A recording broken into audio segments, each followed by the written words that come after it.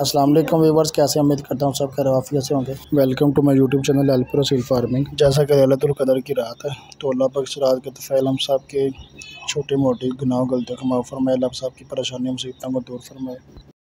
जी तो नाजनी चलते हैं, आज के टॉपिक की तरफ़। तो टॉपिक हमारा ये है, जैसे कि मैंने पिछले वीडियो अपलोड की थी, कि हमारा एक चूल्हा जो लड़ाई करते, ज़ख्मी हो गया था उसको ठीक कैसे करना उसको इलाज कैसे करना है? माशाल्लाह हमारा चूल्हा जो है वो आज ठीक हो चुका है। सेवेंटी एटी परसेंट रिकवर कर चुका है एक ही दिन में चौबीस घंटे के अंदर।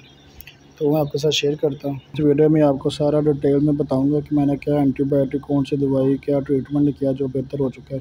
तो इसकी मैं कंडीशन भी आपके सामने शेयर करता हूँ, पहले कैसा था, अब कैसा था वीडियो के साथ जुड़े रहिएगा।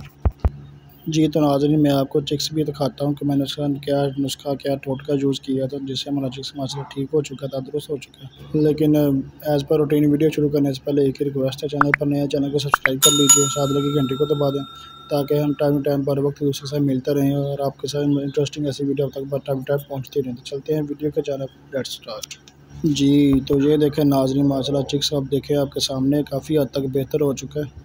अब तो अपनी टांगों पे खड़ा भी हो रहा है, वज़न भी डाल रहा है, ठीक है, जैसे बोल भी रहा है। तो जो मेरी पिछली वीडियो आपने देखी होगी, उसमें देखा होगा चिक्स जो था, वो कैसे बेजान हो चुका था, ठीक है। इसके ज़िंदगी के चांस बहुत कम थे। लगता नहीं था कि जो अपना सर्वाइव कर पाएगा, ठीक है, लेकिन जहाँ तक हमारी कोशिश थी।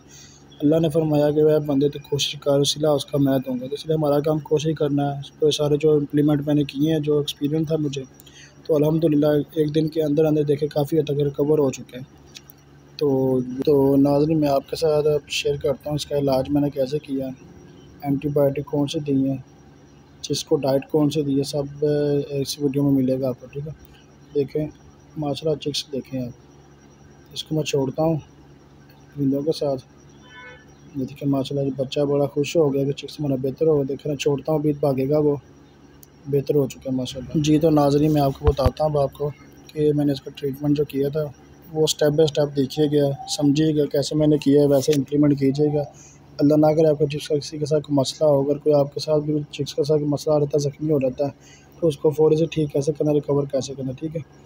तो मैं आपके साथ अभी स्टेप बाय स्टेप बताता हूँ, कौन सी चीज़ कब देनी, कितने बड़े देनी है वीडियो एंड तक देखिए स्किप मत कीजिएगा। क्योंकि ये पॉइंट बहुत ज़रूरी है, आपके समझना ज़रूरी है। ये देखें जो पेनाडोल सिरप आम हर घर में अवेलेबल होता है, ये बच्चों के लिए होता है पेनाडोल सिरप ये आपने देना है सबसे पहले। कितना देना है ये भी आपको बताता हूँ। इसके बाद नाजनी ये देखें आपने एक सिरप लेना है प्रूफिन सिरप जिसे कहते हैं, ठीक है?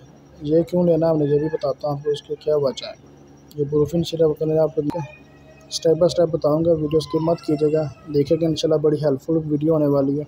तो इसके साथ हम लेते हैं जो एंटी क्योर होता है, ये क्या होता है? जो वायरस के लिए होता है।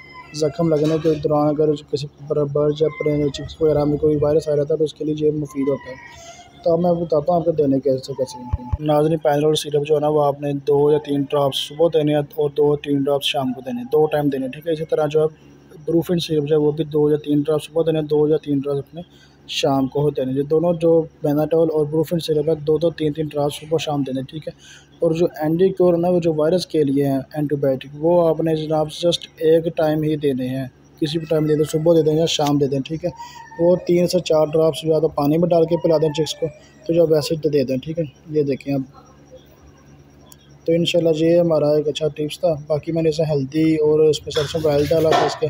पायरिन के साथ इसका ज़ख्म साफ़ किया था खुश्क हो जाए। तो लास्ट पॉइंट ये भी मैं आपको बताता जाऊँ कि अगर चिक्स आपका ज़ख्मी हो जाए तो ऐसे सूरत में उसको डाइट कौन सी देनी है, ठीक है? हमने उसको हैवी डाइट नहीं देनी।